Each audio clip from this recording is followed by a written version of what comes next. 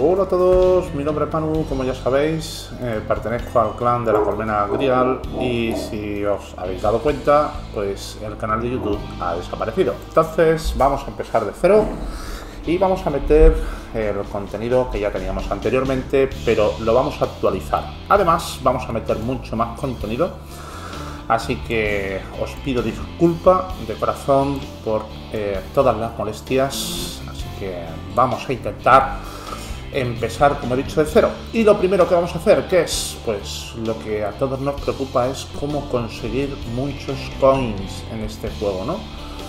Pues vamos a ver varias formas de hacerlo. ¿eh? La primera de ellas, la primera de ellas es eh, por medio de ir farmeando, ir farmeando. Y para que lo podamos entender, nos vamos a ir a mercado. En mercado nos vamos a ir a recursos y vamos a mirar estos recursos que tenemos aquí. Fijaos, en la actualidad la chatarra eh, no tiene mal precio, ¿vale? Pero sabéis que los que ya me conocéis que yo suelo aconsejar que lo vendáis a partir de 40. ¿eh? De, perdón, de 4 aquí, de 40 en las 1000 unidades, ¿vale? El plástico, el plástico ha bajado un poco también y suelo aconsejar que siempre eh, la venta sea eh, de las mil unidades ¿eh? en torno a 200, quizás un poquito más. Ahora mismo no está mal el precio. Tema de las baterías, pues tampoco está mal el precio. El combustible también está bastante bien y el cable tampoco está mal. Lo que sí que está bastante económico es la, eh, el cobre.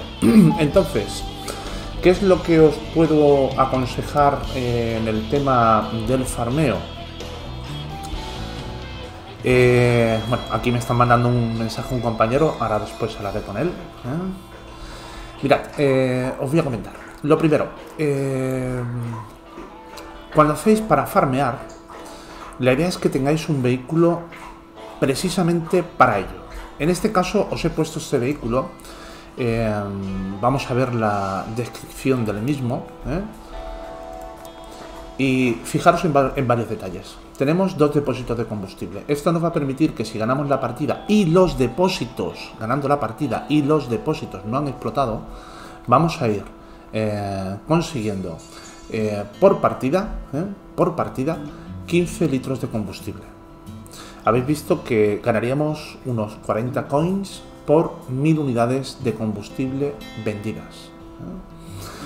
Este vehículo, si os dais cuenta, está en 2.200 pesos. Y estando en 2.200 pesos, también lo hemos hecho para que nos dé el bono de reputación, un 25% más. De esa forma también subiremos eh, la reputación de la facción que estemos jugando. Esto lo vamos a hacer y lo vamos a comentar en otro vídeo. Pero ahora quiero que os centréis en el hecho de que este vehículo, al tener pocos peces, vamos a hacer partidas relativamente rápidas y vamos a estar eh, con dos, eh, dos, depósitos de combustible para poder farmear con más rapidez. ¿eh? Eso por ahí. Aparte, en estos peces sabéis que lo que vamos a farmear es principalmente chatarra. Al ser chatarra, lo vemos aquí en el almacén nuestro, y lo que vamos a es a juntar este tipo de, material, que es la chatarra de metal. Esa chatarra, si pulsamos para el precio, como habéis visto antes, las 1000 unidades estaban en torno a 40, mm, no llegaba a 40, ¿vale? Entonces, ¿qué es lo que tenéis que hacer? No, no seáis, no penséis en decir, eh, voy vendiendo según voy consiguiendo. No es lo que yo os aconsejo os aconsejo que siempre aprovechéis los eventos que surgen en los cuales nos dan eh, los bancos de trabajo gratis, en los cuales salen eh, fabricaciones de armas eh, específicas o especiales que van a hacer que los recursos que tengamos tengan un mayor valor. No es lo mismo que ganéis 35 coins por mil de chatarra que 45 coins. Obviamente, es mejor ponerlo en oferta, es decir, ir al mercado. Una vez que estáis en el mercado, iros a el material que queréis vender, pincháis en el mismo Y cuando decís de vender, no poner el precio que está estipulado aquí, sino poner el precio que realmente queréis venderlo. Por poner un ejemplo, yo querría venderlo por 42 de 42 eh, coins y de esa forma ganaría 39,9, prácticamente 40 coins, ¿vale? Eh, lote, pues mm, una cantidad de 1000 unidades. Lo ponemos en venta y esto recibiréis esa cantidad de coins justo en el momento en el que hayáis vendido eh, este lote que habéis puesto en este momento, ¿vale? Eso sería para hacerlo con todos los recursos que vayáis consiguiendo. Eh, al hacerlo, ¿vale? Al hacerlo, si lo hacemos ahora de forma instantánea, hemos puesto uno a la venta, eh, serían unos 6 lotes, aproximadamente serían 6 lotes por 4, ¿vale? 6 por 4 haría que nos permitiría el hecho de tener 240 coins, es decir, hemos conseguido solo con nuestra chatarra de esta semana 240 coins. Aparte, si vendiésemos también los recursos correspondientes que tenemos almacenados del plástico y de otros más, como pueden ser los cables, etcétera, etcétera, al sumarlos ¿eh? conseguiríamos en torno a 350 coins por semana. Aproximadamente. Esto también es relativo, ya que debería, eh, depende de eh, tiempo que estáis jugando y por lo que estáis jugando. ¿El por qué? Mirad, yo siempre eh, os he comentado que el tiempo que estáis jugando en realidad son coins que vais a llevar al, al mercado. Vais a conseguir en el mercado. ¿Por qué? Porque siempre que jugáis vais a recibir algún tipo de recurso. O bien chatarra, o bien cable, o bien cobre, o bien plástico, o bien circuitos, o baterías, así como también podríais ganar uranio u otros recursos que estén en algún tipo de evento que se haya puesto en ese momento. Teniendo en cuenta eso, eh, tenéis que pensar, si estoy jugando una hora, ¿qué me puede salir más rentable jugando en una hora? Pues bueno, mirad, vamos a mirar en los, eh, en los distintos tipos de batallas y siempre pensar que lo que os puede salir más rentable, proporción precio actualmente en este momento, es jugar por cables. ¿Por qué? La proporción que ganáis por partida y la proporción del precio en el que está puesto a la venta. Es más rentable. También tener en cuenta una cosa. Si aquí en el mercado vemos que el cobre, las 1000 unidades, están por encima de 30 coins, la sugerencia es iros a elegir modo de batalla y jugar las batallas difíciles, las incursiones difíciles. ¿El por qué? Porque en una hora jugando por este tipo de batallas, ¿eh? podríais ganar en torno a 1500 de chatarra. 1500 de chatarra os sacaría un beneficio en torno a 45 coins, jugando solo una hora. ¿Qué más os puedo expresar en cuanto a este asunto? Mirad, siempre, antes de elegir algún modo o algún formato en el cual penséis que os puede salir más rentable o no, mirad el mercado. Y siempre teniendo en cuenta el mercado, podréis ver si os es más rentable jugar en las incursiones o por plástico o vamos a pasar al siguiente para que lo vayamos viendo o por circuitos o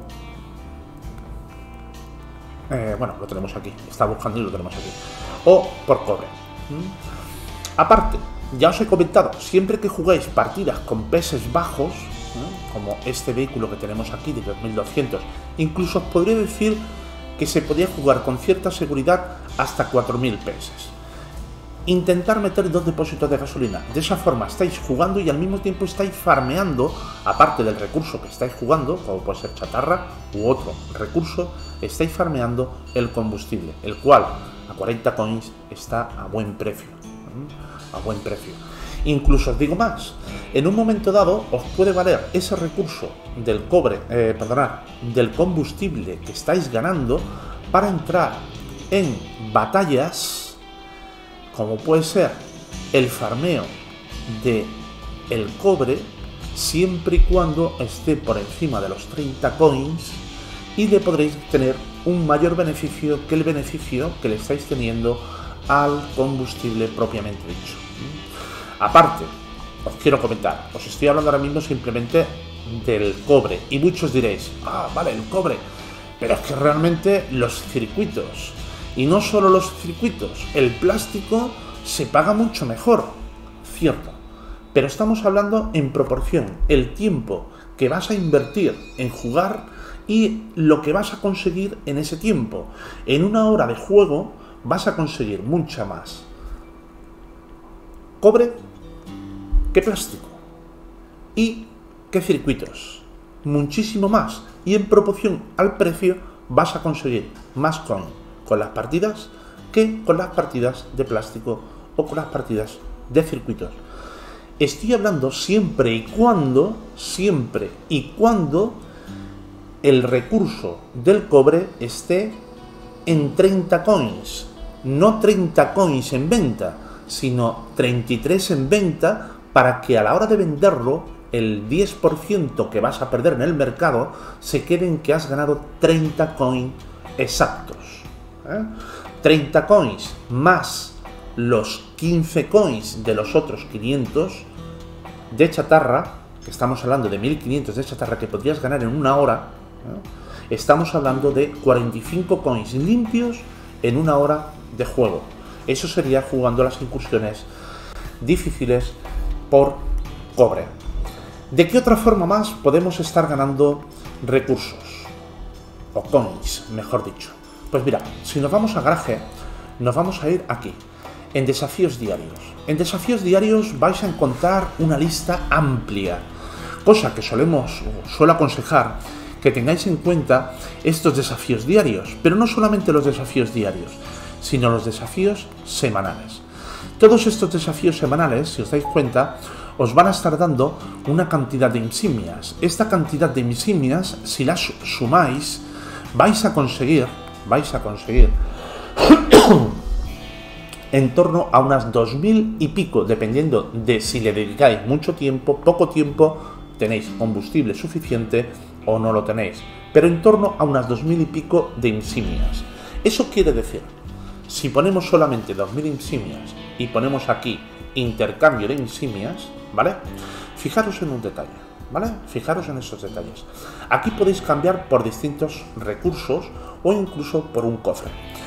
¿Qué es lo que podéis hacer? Mirad, siempre antes de hacer un cambio debéis de echar las cuentas para ver qué es lo que realmente podéis conseguir una mayor cantidad de coins por el cambio de estas insignias.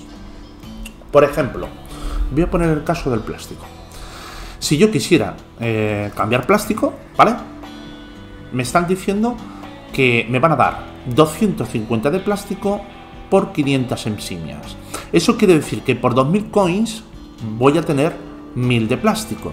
1000 de plástico en coins estamos hablando, si son si 100 son 19, 1000 serían 190. Es decir, semanalmente, aparte de los 350 coins por los recursos que ya hemos comentado al principio, y recargo recargo, ¿eh? recargo, que esto es muy importante que lo tengáis en cuenta, muy, muy, muy importante. Si estos coins que estamos ganando semanalmente, que son 100, 300, mejor dicho, 50, lo incrementamos al valor de 190, o 200 coin, para que nos podamos entender semanalmente que podríais ganar, estamos diciendo que estaría en torno a 550 coins semanales. Semanales. ¿Qué sucede? Que estos los deberíamos de multiplicar por la cantidad correspondiente a el mes. 550 lo multiplicaríamos por 4 semanas que tiene un mes. Eso nos llevaría, y tenerlo muy en cuenta, a la cantidad total de 2.200 coin al mes. Sola, única y exclusivamente con el farmeo. El farmeo de compra no de material, sino de venta de nuestros recursos. No fabricando armas, sino vendiendo nuestros recursos para que otros las puedan fabricar. ¿Eso quiere decir que la fabricación de armas, módulos, cabinas, etcétera, no es rentable en el juego? Mirad, hoy por hoy en el juego hay muchos materiales, eh, armas, módulos, cabinas, ruedas que se pueden fabricar y realmente os pueden dar eh, un beneficio. Estamos hablando que aproximadamente el 70 o el 80% de las armas, módulos, cabinas y ruedas no son rentables fabricarlas. El otro 20% o 30% sí, le podríais ganar algunos coins. Pero realmente en lo que puedes estar seguro de que vas a tener tu ganancia es con el farmeo.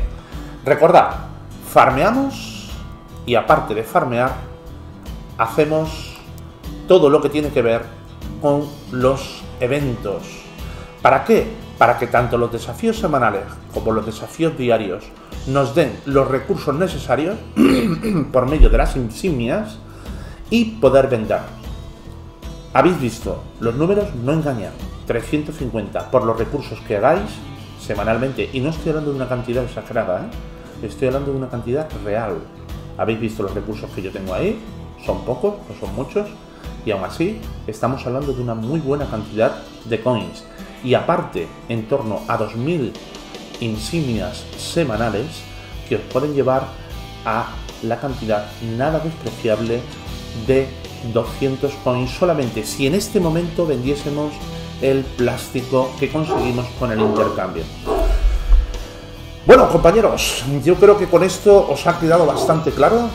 Farmear, vehículos pequeños con pocos PS mmm, metiendo depósitos de combustible eh, en este caso sería para la chatarra, podemos farmear otros recursos con otras distintas mm, vehículos que tengamos y sobre todo por medio de terminar de hacer las incursiones. Compañero, eh, un placer eh, volver a estar aquí. espero que el vídeo os haya podido ayudar para poder conseguir coins y de esa forma subir cada vez más nuestra cuenta y que el día de mañana podamos tener una cuenta muy, muy, muy potente. como este es el es el primer vídeo en realidad. Hemos puesto un vídeo en plan de, broma, era un vídeo de, prueba para ver si nos funcionaba el canal de YouTube. Y sí, estaba ahí. Y este es el primer vídeo real que ponemos en plan tutorial. Espero que os haya servido. Vuelvo a deciros lo que siempre os digo, compañeros. Mm, tenéis el canal de Facebook para que os podáis unir a él.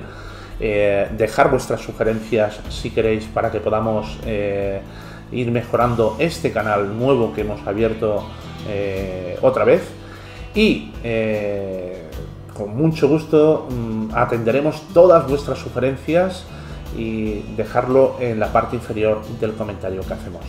Siempre os digo lo mismo, espero que nos veamos sobre todo en el crossover en el campo de batalla. Un fuerte abrazo a todos y hasta la próxima.